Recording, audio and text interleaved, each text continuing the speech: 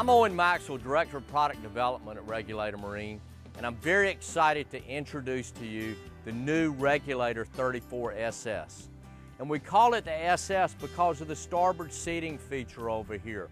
When we sat down with our dealers and our customers, we did not want to design a boat that was another big, open, go-fast center console boat. We wanted to do something different, and this is it. More of a dual-purpose boat for fishing and cruising. A friend came up to me at the boat show and he said, oh, you know, Regulator's sort of known for building fishing boats. And I look at this boat and I'm a little confused. It, it has fishing features, but it's got more cruising features than you normally put on a boat. And I'm a little bit confused. Is it a cruising boat or a fishing boat? And my reply was, exactly, it's both. Let me start off by showing you some of the cruising features of this boat up on the bow deck. Seating of 12 of your best friends up here. Integrated handrails for security and ease while you're cruising. Undergunnel cup holders as well as a storage bin here behind the cushion for whatever things you want to take out of your pockets. Could be fishing tackle, could be suntan lotion, whatever's in your pocket you want to take out. But let me show you some of the fishing features of this boat as well.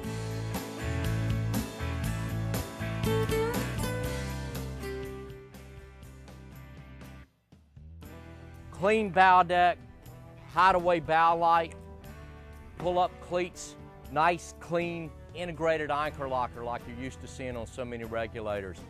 But underneath the cushions, look at the casting platform up here. Got plenty of room for casting, under tow room, lock in on the coaming pads. Plenty of room to come down the side too. So we've got our fishing features of the casting platform up here as well as the lounging features of the forward seating, starboard seating area up here as well. Underneath the forward casting platform is a gigantic dry storage area here that drains overboard. This box is over 36 inches long. Starboard side, seven foot fish box slash rod locker. And yes, those are spinning rods in there. Seven feet long, insulated, drains overboard. Can use it for locking rod storage or for fish box. And as on all the regulators, the molded RTM lids, clean, finished, both sides, easy cleanup, gasketed lid for a good tight finish. On the port side, a six foot insulated fish box as well doubles as rod storage. And since it's so long, if you want to use part of it for just ice and drinks, it's got a nice divider in here to isolate your ice, to keep all your ice in one area there for just a handful of drinks. The view from the console, completely clear, unobstructed view. You guys have asked us to remove the V-brace from the T-top. And with this particular top configuration design, there's no obstruction from a V-brace in front. And I'm looking through a frameless tempered glass windshield, so there's no framework on this windshield to interrupt your view. And this is your view from the helm, clear and unobstructed.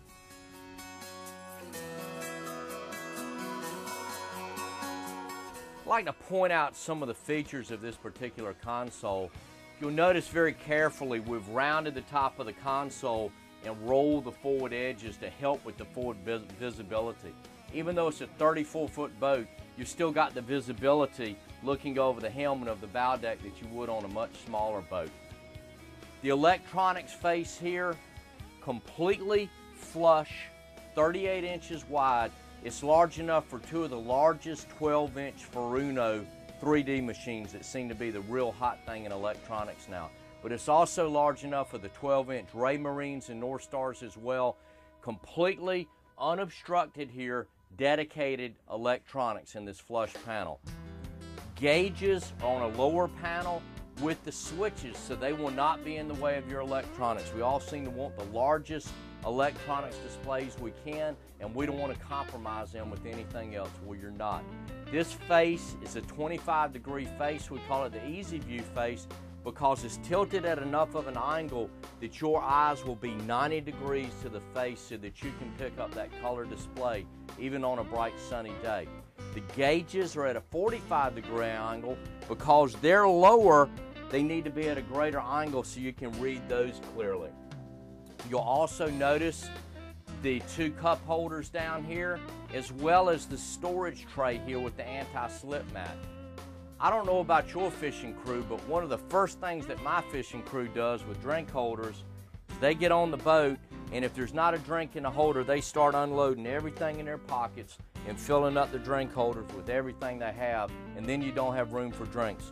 Well, now with this storage tray with the anti-slip, your crew can take their wallet out, their cell phone, whatever, and you've still got your drink holders. Teleflex power assist steering, tilt helm, Lenco 14 by 18 trim tabs, and footrest with storage forward in the console.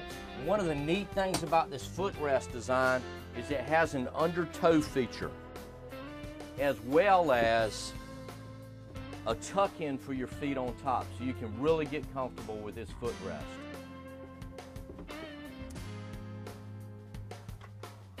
Glove box for all those additional things.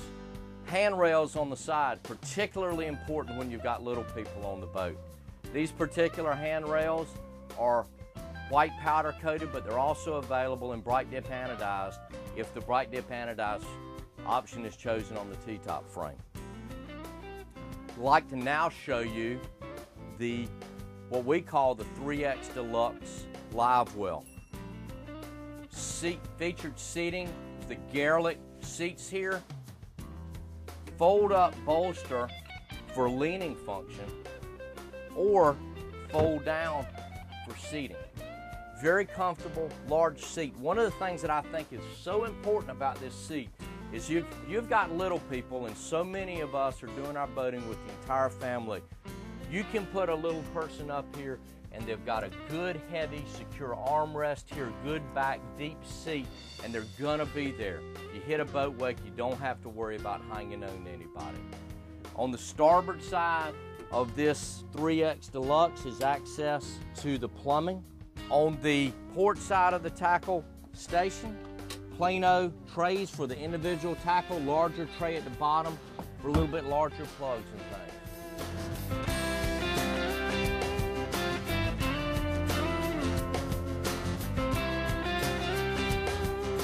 18 by 21 inch sink, insulated. This sink is as big as most kitchen sinks. Pull out spray faucet, underneath the molded lid, nice and clean. Forward more drink holders, and storage tray up here. This can also be accessed from the starboard side seating on the bow deck, so plenty of drink holders and storage area here. Underneath the tackle center, we've got tackle drawers for bulk storage as well. These drawers are on keepers, so when they're closed, they're closed. You don't have to worry about them opening up when you open the door. Freshwater washdown on starboard side, saltwater washdown on the port side, and the shore power cord hookup is here on the starboard side as well to feed the standard 40 amp battery charger.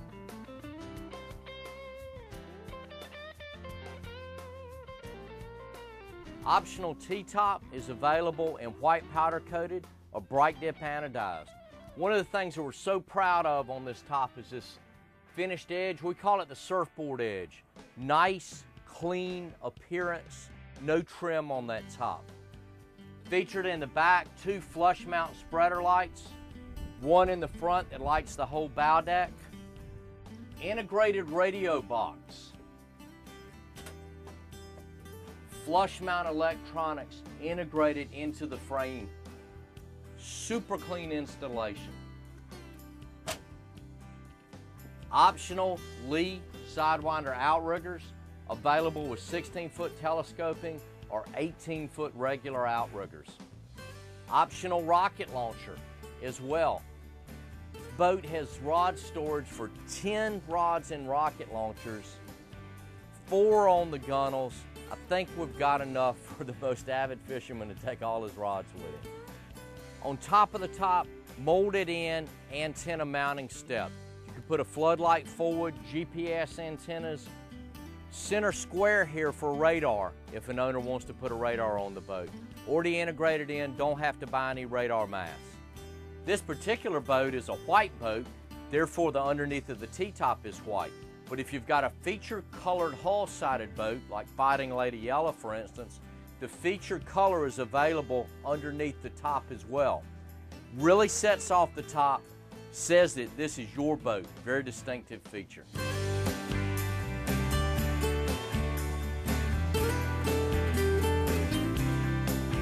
The live well is neatly concealed under this molded fiberglass lid.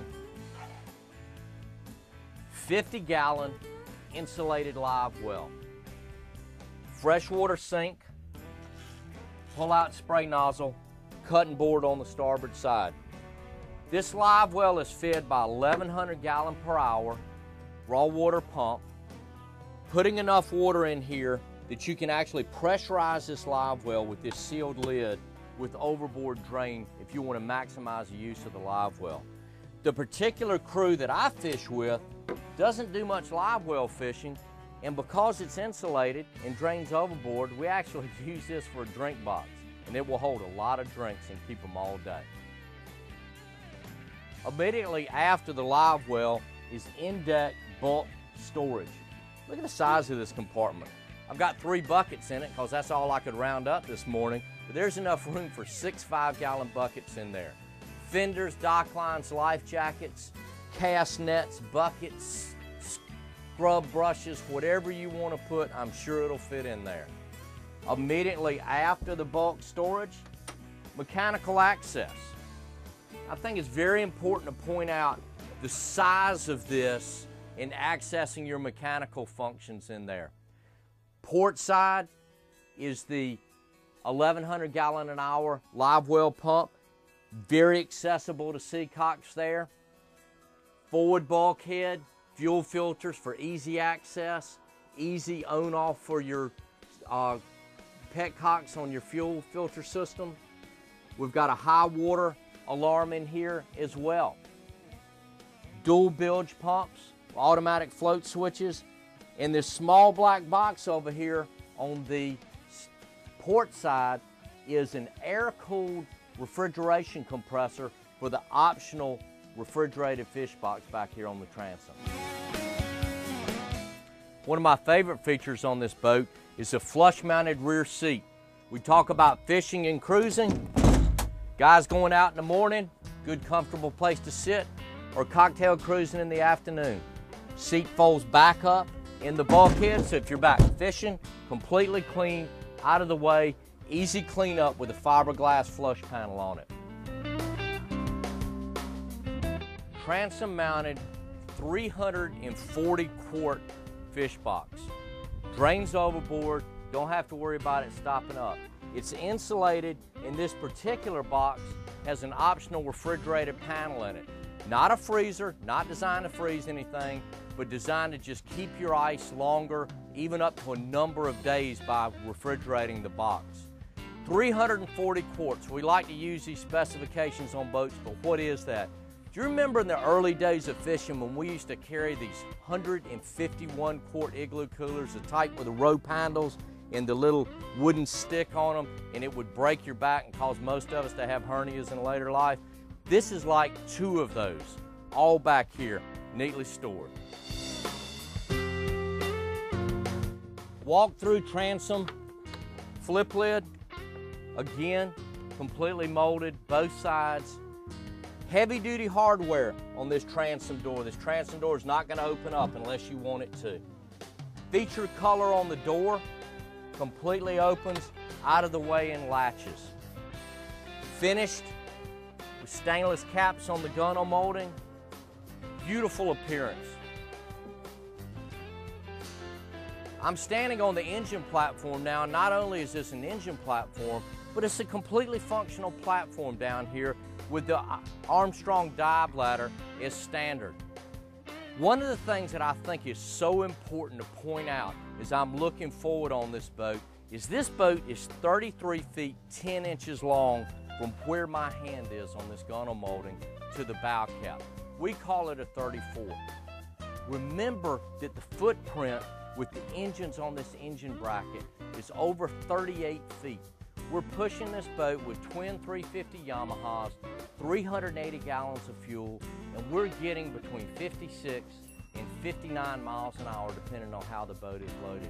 There's not another boat in this class with a 38 foot footprint with twin engines that's getting this type of performance with up to a 300 mile range. Standing on the engine platform, I just wanted to point out this transom door with the featured color. So the hull color carries all the way through it. Don't see this on many outboard boats. This is the type of thing you see on larger inboard, much more expensive boats.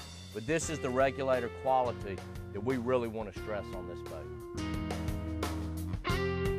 Well, we've talked about all the different features of this new 34SS center console. And it's the center console, so we've about seen it all, right? No. The best and most surprising I've saved for last. Come with me. Access to the console interior is through this molded fiberglass door. Notice it's a completely frameless door, very clean appearance. We've taken a cue from our dealers and our customers and cut out this top portion here with this hatch-like feature, which greatly aids in getting in and out of the console without having to bend over. I'm now standing inside the console area of the 34SS. Six foot four inch of headroom. I'd like to point out some of the features in here. 5,000 BTU 12 volt air conditioner. You're able to use it at the dock with the battery charger or offshore with the engine zone and up to six hours with just battery power before the house batteries run down. Also, I'd like to point out that we've got the undercoaming courtesy lights here and lighting above here for the whole area. Underneath, bunk area for two adults, six foot nine inch area in here. I'd like to point out some of the mechanical features that are in here as well. Lift out area to access the mechanicals for the vacuum flush head system. And on the port side, lift out for the 431 series batteries. And I mentioned it earlier, but we're charging those batteries with a standard 40 amp battery charger. So when you're plugged into shore power, you can pretty much do whatever you want to. Polished stainless steel sink with pull-out spray faucet, Corian countertop, storage under.